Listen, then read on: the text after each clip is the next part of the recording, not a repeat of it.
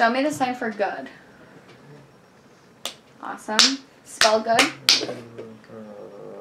G O O D. Okay. Now we're gonna spell it on your iPad. So find the G. Over a little bit.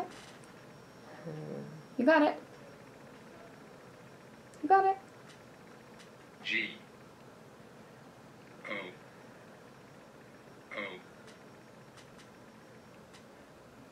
Yep. D. Good. Perfect. Let's turn the volume up a little bit so it can be